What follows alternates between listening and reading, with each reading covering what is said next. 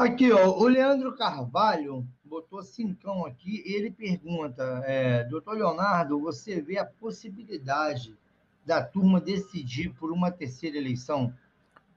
Ô, Leonardo, deixa eu só acrescentar nessa pergunta que muita gente me pergunta também nos comentários dos meus vídeos que eu falo sobre o processo, se as partes não podem entrar em algum acordo, em alguma forma dessa de de repente ter alguma terceira eleição eu falo que é praticamente possível, porque as partes são tão antagônicas, são brigadas, são brigas tão fortes aí que eu acho muito difícil.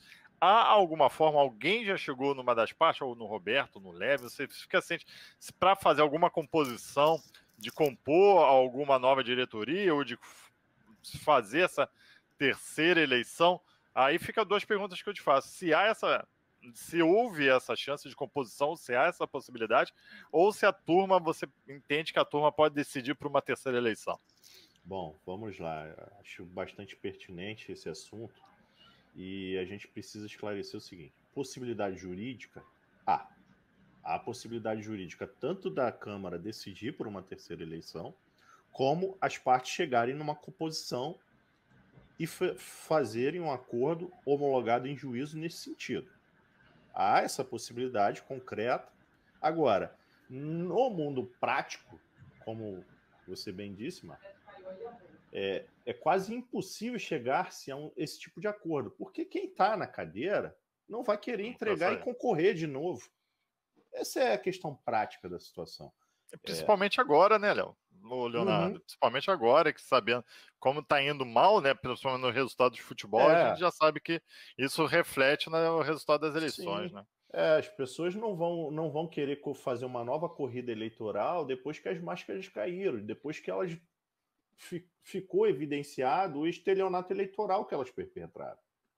Então, no mundo real, prático, na questão prática, é impossível esse acordo.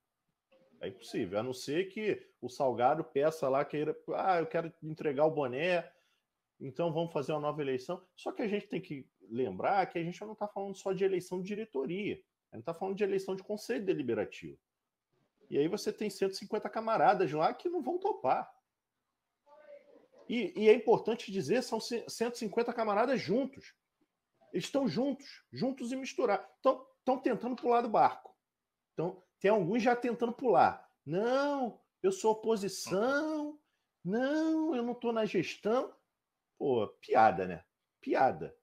Agora, voltando aqui para a questão do processual, a possibilidade do dia 6, o que a gente tem é o seguinte: é, do dia 6 se decidir uma terceira eleição, é possível. Acho, volto a dizer, é difícil. É difícil pelo instrumento processual que a gente está trabalhando nesse julgamento dia 6. Mas o próprio voto do custódio, ele tem um raciocínio de terceira eleição. Me desculpe.